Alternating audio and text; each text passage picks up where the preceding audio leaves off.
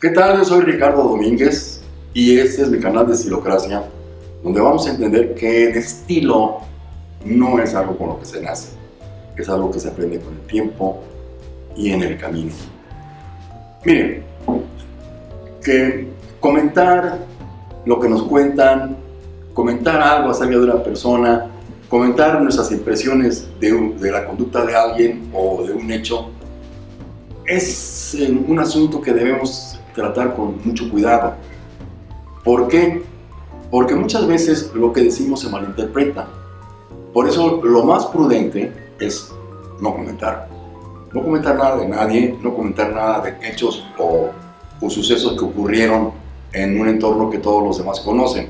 Pero usted puede, puede hablar del, eh, presidente de Corea del Norte sin, sin que pase nada.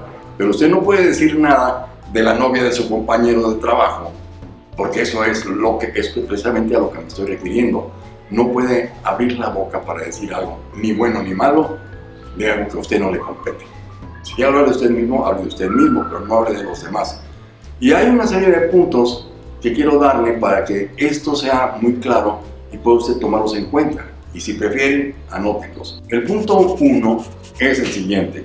Sea discreto sobre las fiestas a, a las que ha asistido. No hables de los demás. Procura no involucrar en tu conversación a terceros, aunque lo hagas de buena intención. No sabes si la otra persona se puede molestar. Tus fiestas son tus fiestas. Si la pasaste muy bien o la pasaste muy mal, es asunto tuyo. No tienes por qué andar comentándoles a los demás cómo estuvo la fiesta y cómo se comportaron los demás. Sé discreto, déjalo, déjalo así. No digas nada. Otro punto más, tampoco hables de las fiestas o eventos a los que vas a ir frente a personas que no están seguras de haber sido invitadas. Porque imagínate que estás en, en un entorno laboral donde trabajan 20, 30 agentes o a lo mejor más o algo menos. Pero solamente a ti te invitaron a una fiesta y a los demás no. Si tú comentas que eres invitado a la fiesta que va a dar tal persona en su casa que va a estar buenísima y los demás no están invitados, se van a sentir molestos. Y se van a sentir molestos con la persona que está haciendo la fiesta, es decir, con el anfitrión, y contigo por andar divulgando algo que no tenías que haber divulgado. Tómalo muy en cuenta. El punto 3 es el siguiente. Cuando te cuenten un secreto, ¿qué haces cuando te cuentan un secreto? Muchas veces no necesitas decirte que lo que te cuentan es un secreto. Necesitas tener la sensibilidad suficiente para saber que es algo confidencial, que es algo íntimo, que es algo que no tiene por qué ser divulgado. Cuando alguien te confía una cosa muy íntima, te lo está confiando a ti, porque considera que tú eres una persona de confianza y eso para ti debe ser prácticamente un honor, que te consideren una persona de confianza y esa confianza se basa en tu discreción que ya ha sido puesta a prueba o de la que ya has hecho gala durante el tiempo en que se conocen. Si tú eres depositario de la confianza de alguien, no la defraudes. No cuentes lo que te contaron, particularmente si sientes o entiendes que es algo íntimo, que es algo que no se debe de contar. Te voy a dar otro punto más. Si te cuentan una desgracia, una enfermedad o un accidente, una inseguridad o una tristeza, lo mejor es quedarte callado y prestar mucha atención.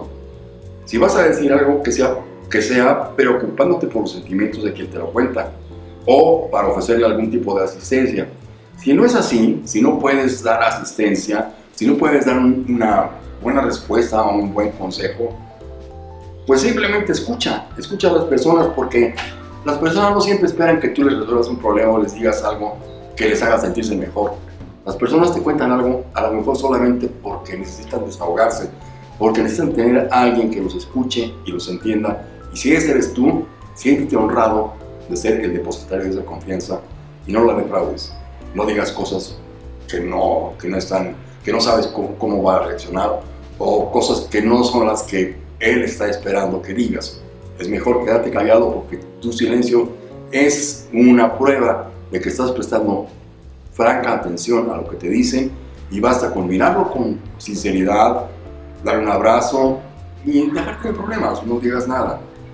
Te voy a dar un punto más. El punto 5. Si alguien te confiesa que hizo algo malo, tienes el derecho a decirle que no estás de acuerdo en cómo actúa. Y por supuesto, si es un crimen o un delito, pues puedes no ser tan discreto, pero con las autoridades, ¿eh? no, no con las personas que trabajan en tu entorno. No puede ser de esto un chisme. Si alguien te confesó que cometió un delito, puedes pasarlo por alto, pero de alguna manera te vuelves cómplice de quien cometió un delito. Claro, una felonía menor como haberse robado una Coca-Cola del Oxxo, francamente, no vale la pena ni que, lo, ni que lo comentes. Esto es todo lo que puedo decirles acerca de quedarse callado o no quedarse callado cuando te cuentan algo íntimo. Espero que estos puntos te sirvan y que te ayuden a, hacer cada día mucho mejor. Gracias por su atención amigos y les recuerdo darle like a mi video, suscribirse a mi canal y tocar la campanita para que sepan que hay un video más en el aire. Gracias.